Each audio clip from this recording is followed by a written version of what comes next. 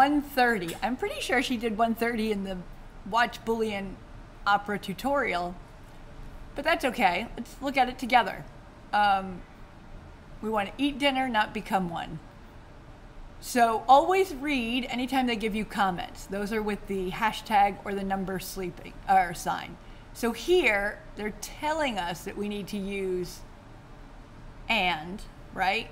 So fix the condition and they're letting us know that we need to eat, put in an and operator.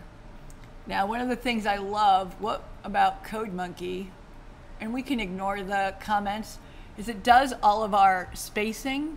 So if you're not sure, just put your cursor right up against the neck, the last thing, because when you click the button, it'll space for you. So until bear sleeping and until tiger sleeping.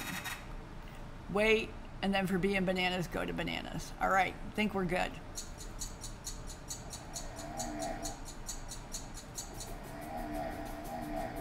And if you haven't watched the video, the tutorial yet, you need to do that.